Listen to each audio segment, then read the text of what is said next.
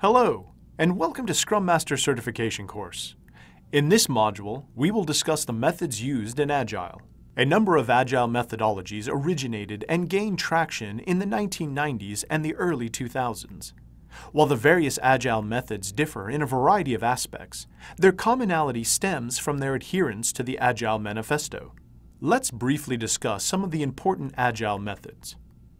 The first method that we will discuss is Lean Kanban development. The Lean concept optimizes an organization's system to produce valuable results based on its resources, needs, and alternatives, while reducing waste. Kanban literally means a signboard, and it espouses the use of visual aids to assist and track production. Lean Kanban integrates the use of the visualization methods as prescribed by Kanban, along with the principles of Lean, creating a visual incremental evolutionary process management system. The next is extreme programming. XP makes it possible to keep the cost of changing software from rising radically with time. The key attributes of XP include incremental development, flexibility scheduling, automated test codes, verbal communication, ever-evolving design, close collaboration and tying in the long-term and short-term drives of all those involved. XP values communication, feedback, simplicity, and courage. The different roles in the XP approach include the customer, the developer, the tracker, and the coach. XP prescribes various coding, developer, and business practices, events, and artifacts to achieve effective and efficient development. XP has been extensively adopted due to its well-defined engineering practices.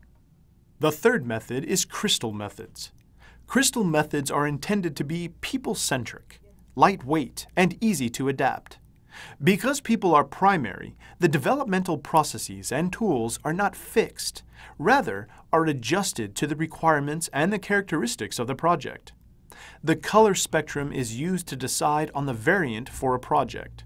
Factors such as comfort, discretionary money, essential money, and life play a vital role in determining the weight of the methodology, which is represented in various colors of spectrum.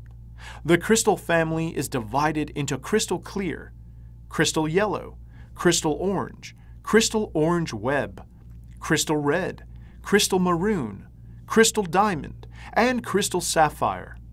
All crystal methods have four roles the executive sponsor, the lead designer, developers, and experienced users. Crystal methods recommend various strategies and techniques to achieve agility. A Crystal project cycle consists of chartering, delivering cycle, and wrap-up. The fourth method is Dynamic Systems Development Methods. DSDM sets quality and effort in terms of cost and time at the outset and adjusts the project deliverables to meet the set criteria by prioritizing the deliverables into musts, shoulds, coulds, and won't-haves, or MoSCoW. DSDM is a system-oriented method with six distinct phases. Pre-project phase, the feasibility phase, exploration and engineering phase, deployment phase, and benefit assessment phase. The fifth method is feature-driven development. FDD was devised by Jeff DeLuca in 1997 and operates on the principle of completing a project by breaking it down into small, client-valued functions that can be delivered in less than two weeks' time. FDD has two core principles. Software development is a human activity, and software development is a client-valued functionality. FDD defines six major roles. Project Manager, Chief Architect, development manager, chief programmers, class owners, and domain experts, in addition to a number of supporting roles.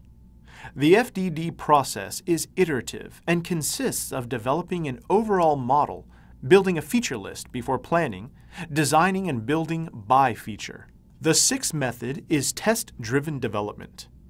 Test-driven development is a software development method that involves writing automated test code first and developing the least amount of code necessary to pass that test later.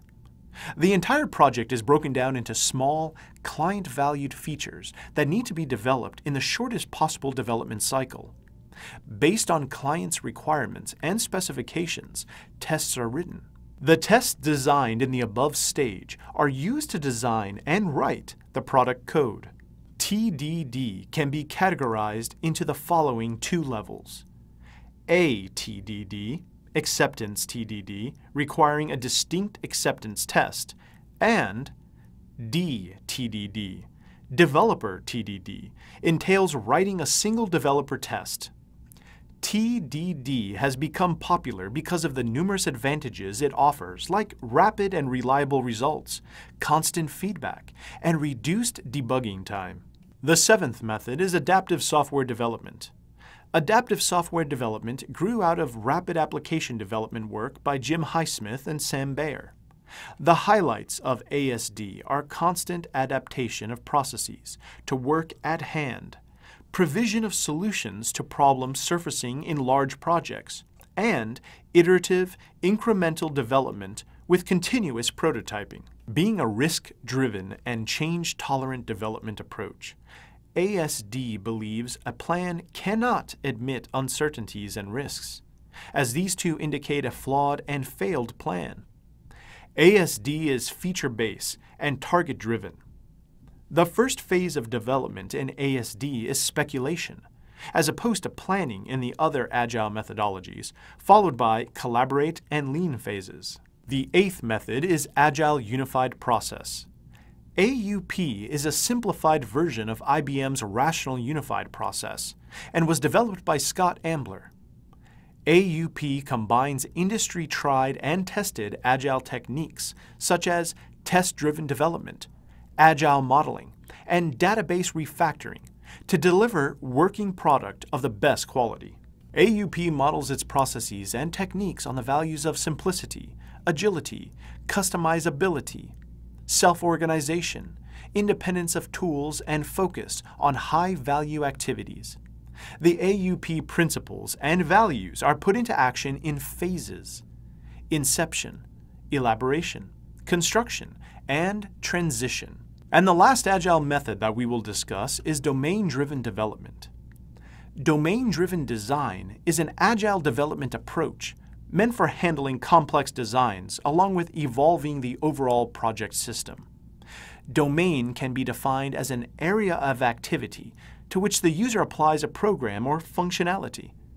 Many such areas are batched, and a model is designed which is a system of abstractions that can be used to design the overall project and solve the problems related to the batch domains.